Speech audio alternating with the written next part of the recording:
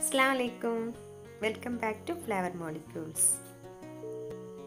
ഇന്ന് നമുക്ക് കൂന്തൽ റോസ്റ്റ് ചെയ്യാം കേട്ടോ. അതും വളരെ ഈസി ആയിട്ട് ചെയ്യാവുന്ന ഒരു മെത്തേഡാണ് ഞാൻ കാണിക്കുന്നത്. അത് രണ്ട് തരത്തിൽ ഞാൻ ചെയ്യുന്നുണ്ട്. ഒന്ന് കുറച്ച് ജ്യൂസി ടൈപ്പ് വേറൊന്ന് ഡ്രൈ ആയിട്ടുള്ളത്. സെയിം ഇൻഗ്രീഡിയൻസ് വെച്ചിട്ട് തന്നെയാണ് രണ്ട് കൺസിസ്റ്റൻസിയിൽ നമ്മളത് കുക്ക് ചെയ്തെടുക്കുന്നതെന്ന് മാത്രം. അതിനായി ഇവിടെ രണ്ട് മീഡിയം സൈസ് സെർവോള എരിഞ്ഞെടുത്തിട്ടുണ്ട് മൂന്ന് തക്കാളി എരിഞ്ഞത് ഒരു ടീസ്പൂൺ പെരിഞ്ജീരകം പൊടിച്ചത്. ഒരു ടീസ്പൂൺ മഞ്ഞൾപ്പൊടി. രണ്ട് ടേബിൾ സ്പൂൺ മല്ലിപ്പൊടി. രണ്ട് ടേബിൾ സ്പൂൺ മുളക് പൊടി. എരിവിനനുസരിച്ച് കൂട്ടാം.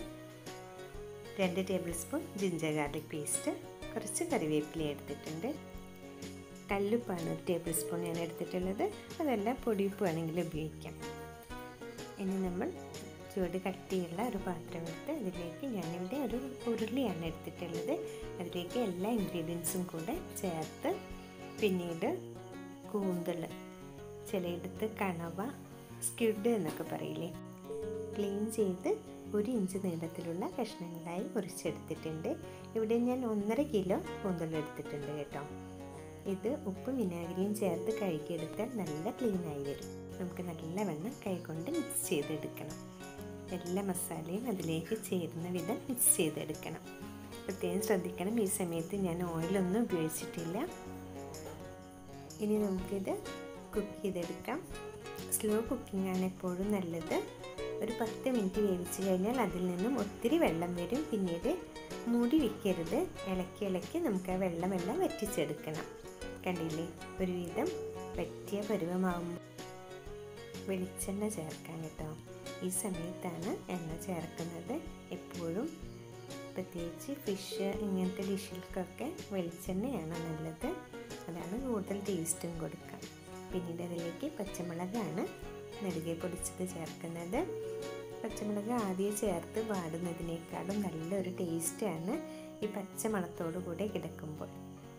കറിവേപ്പിലയും ചേർത്ത് നല്ലവണ്ണം മിക്സ് ചെയ്താൽ കുറച്ച് ജ്യൂസി ടൈപ്പായിട്ടുള്ള റോസ്റ്റ് റെഡി ആയിട്ടുണ്ട്.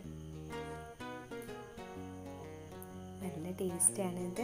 നമ്മുടെ നാടൻ ചോറിന്റെ കൂടെയായാലും ചപ്പാത്തി പത്തിരി ഇടിയപ്പം എല്ലാത്തിനും നല്ല കോമ്പിനേഷനാണ് നല്ല ടേസ്റ്റുമാണ് കേട്ടോ. എല്ലാവരും ഒന്ന് ട്രൈ ചെയ്ത് നോക്കണം. വളരെ എളുപ്പത്തിൽ ഉണ്ടാക്കാമല്ലോ എല്ലാം കൂടി മിക്സ് ചെയ്ത് ഒന്നിച്ച് വേവിച്ചെടുക്കുകയല്ലേ ചെയ്യുന്നത്. നല്ല ടേസ്റ്റി ആയിട്ട് വളരെ എളുപ്പത്തിൽ ഉണ്ടാക്കിയെടുക്കാം. കുറച്ച് ഭാഗമാണ് ആ ഒരു കൺസിസ്റ്റൻസിയിൽ മാറ്റി വെച്ചത്. ഇനി ബാക്കിയുള്ളതിലേക്ക് ഒരു മൂന്നോ നാലോ ടേബിൾ സ്പൂൺ കൂടി വെളിച്ചെണ്ണ ഒഴിച്ച് നല്ല വെള്ളം ഫ്രൈ ചെയ്തെടുക്കുന്നുണ്ട്. വളരെ ചെറിയ ഫ്ലെയിമിലിട്ട് ഫ്രൈ ചെയ്തെടുക്കണം. കണ്ടല്ലോ? നല്ല ഫ്രൈ ആയി ചെറുതായി. നമ്മുടെ പാനിന്റെ അടിയിലൊക്കെ പിടിക്കുന്ന ഒരു പരുവമാകുമ്പോൾ നല്ല ടേസ്റ്റി ആയിട്ട് കിട്ടും. ഇതുവരെ നമ്മുടെ എല്ലാ നാടൻ ഭക്ഷണങ്ങളിലേക്കും നല്ല കോമ്പിനേഷനാണ് പുട്ടായാലും പത്തിരി ആയാലും അപ്പത്തിലേക്കും ഒക്കെ നല്ല ടേസ്റ്റാണ് കേട്ടോ. അപ്പോൾ എല്ലാവരും ട്രൈ ചെയ്ത് നോക്കുമല്ലോ അല്ലേ? ഇൻഷാല്ല അടുത്തൊരു വീഡിയോയുമായി വരുന്നത് വരേക്കും. Take care bye